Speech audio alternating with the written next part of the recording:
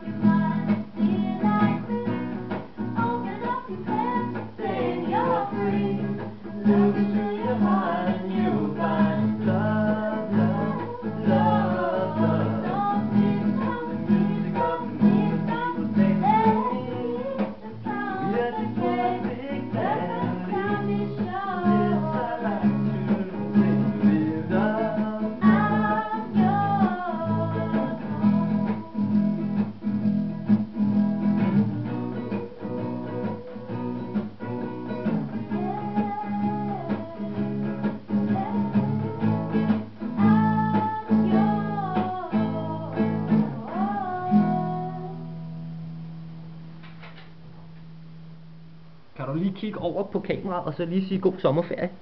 God sommerferie. Tak og i lige måde.